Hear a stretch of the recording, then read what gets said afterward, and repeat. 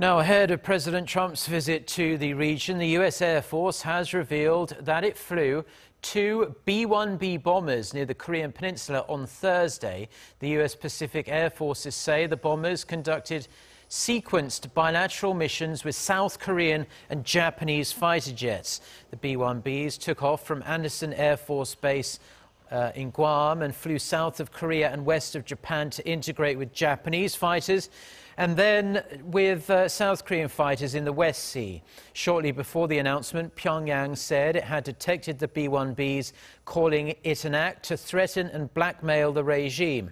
Pyongyang's state-run news agency said the flyover was, quote, the frenzied U.S. scheme of threats which aims to crush uh, the North Korean Republic with nuclear weapons.